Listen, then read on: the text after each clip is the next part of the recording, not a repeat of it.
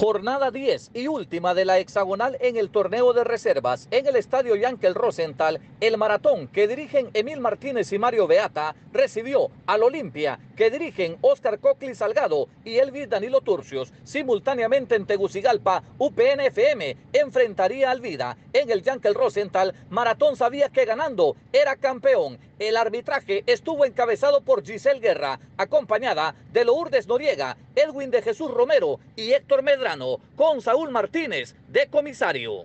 Sin embargo, un empate o derrota de UPN ante Vida en Tegucigalpa le daría el título a Olimpia siempre que le ganaran a Maratón en el Yankel. Y las primeras ocasiones fueron para el conjunto melenudo. A los seis minutos, José Raúl García González, hijo del exfutbolista José García, mandó remate al travesaño. Y a los 14 fue Jared Velázquez quien disparaba arriba de la portería. Las primeras ocasiones fueron para Olimpia. Sin embargo, despertó Maratón. A los 18 minutos, Odín Jafet Ramos Peña en tiro libre y dos minutos después llegaría el primero de la tarde para los verdes. Tulio Edgardo Miranda Arzú mandó el balón al rincón derecho de la portería defendida por Brian Josué Cacho Arzú. Maratón ganaba 1 por 0 a los 20 minutos.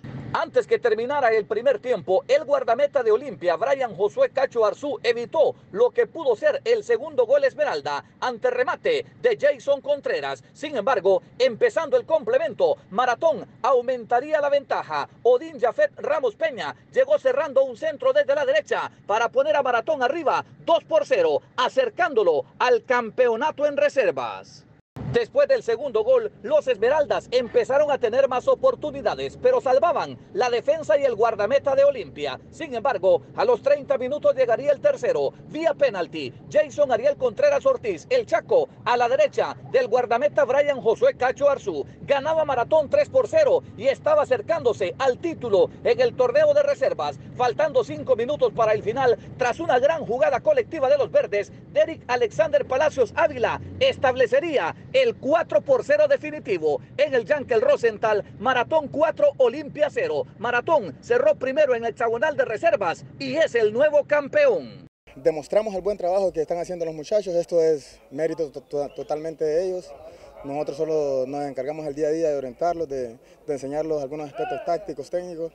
Este es un proceso más que todo formativo para que los muchachos este, lleguen al primer equipo listos. Somos amigos, digamos, con Dani hemos sido compañeros, fuimos compañeros de selección, ahora somos compañeros de, de profesión y esto no cambia nada, el fútbol es un, es un juego que